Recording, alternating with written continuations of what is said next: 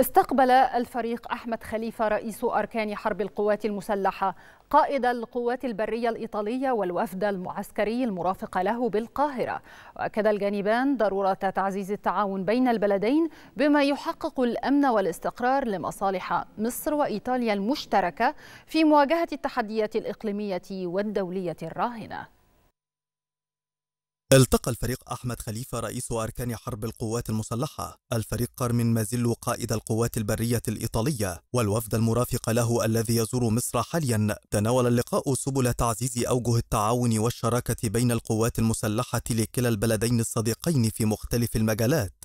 وأعرب رئيس أركان حرب القوات المسلحة عن اعتزازه بالعلاقات الممتدة بين القوات المسلحة المصرية والإيطالية مشيرا إلى حرص القيادة العامة للقوات المسلحة. على تعزيز آفاق التعاون العسكري بما يحقق المصالح المشتركة لكلا الجانبين.